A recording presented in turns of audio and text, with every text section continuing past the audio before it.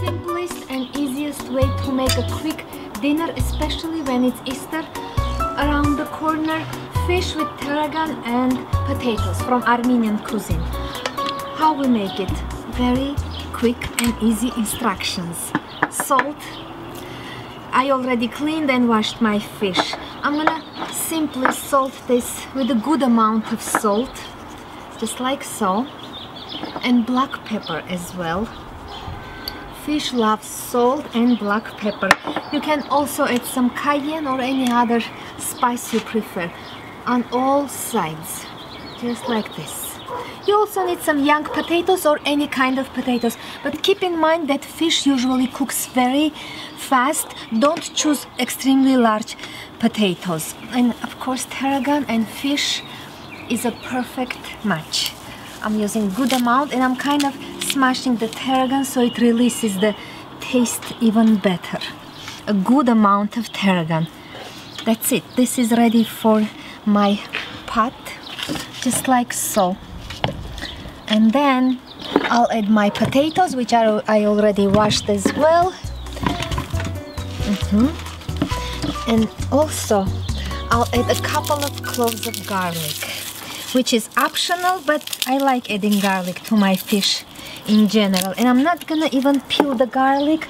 I'll simply slice it like this and add it right there. Mm -hmm. and to this I'll drizzle I'll add a drizzle of olive oil which isn't again uh, important that much as I, I mean you can add it you cannot add it especially if the fish has is very fat has too much fat you don't have to add any additional fat. That's that what else? Cold water. You will add this is important you are going to add as much water as you need to slightly cover the fish. And they say as soon as you see the eye is out the fish eye is out it means it's cooked. And I'm also adding a little bit of salt later you can always taste one potato and see if it needs more salt. Just like this. And why not? I'll add a little bit more of this black pepper. And that's it. I'm going to cook this until the eye is out and the potatoes are cooked. That's it. I'll be back when it's cooked. I'll give this a quick stir. Cook it covered this is ready. And I normally serve this when it's cold slightly cooled down at least. And that way it's easier to remove the whole fish from the uh, from the pot or you can simply cut the fish into pieces. I didn't cut it to because I wanted to have very mm, photogenic look. So I'm gonna try to remove my fish and look the eye is out as they say. My favorite part is the head of the fish. Okay so I remove you want to remove those cooked uh, tarragon leaves from the cavity and I have some fresh ones I'll put fresh ones instead. Now wish me luck to remove this fish in whole. Without oh it's still a little bit hot.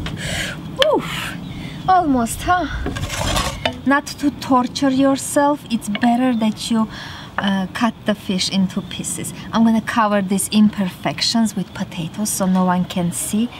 And then I'll use some of this fresh tarragon. I'll use the tips because the tips are easier to eat and they are more tender. So I'll add this probably a couple of slices of tomato lemon just to garnish and make it look nice and that's it it's done. No one needs a recipe for something simple as this. But I'll put down quick instructions on my blog at heghineh.com check it out. I'll put this in this part. Uh, let me know how you liked it and all those things. I'll slice a couple of tomatoes. I love fish with tomatoes and that's it. How simple was this? Fish with tarragon, Armenian cuisine or any cuisine I would assume will have something with fish and tarragon. and a couple of tarragon leaves on my tomatoes. That's it. Okay guys, thank you so much for watching. I'll see you soon. I'm not gonna touch the fish for now. We'll take pictures and then I'll start enjoying my almost cooled down fish. That's it.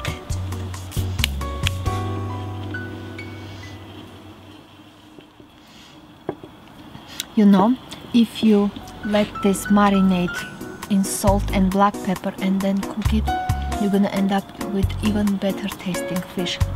But it's still so, so delicious. I'm almost halfway done with the tail part, my favorite, one of my favorite parts. Mm, so delicious.